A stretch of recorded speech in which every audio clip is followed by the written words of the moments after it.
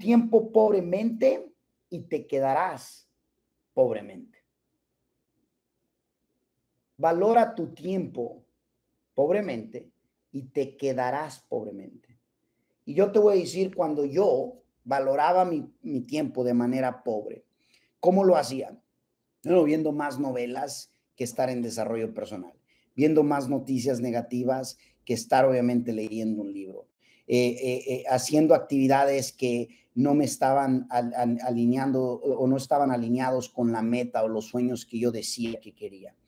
Todos tenemos que valorar el tiempo, ya sea de forma pobre o de manera en riqueza, y tú lo eliges todos los días, cada momento.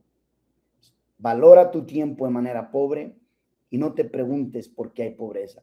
Valora tu tiempo de manera de riqueza, con disciplina, con enfoque y, créemelo, que eventualmente el, el, efecto compuesto de la acumulación de esa disciplina va a encajar y te va a permitir ver resultados muy, muy fregones, ¿ok?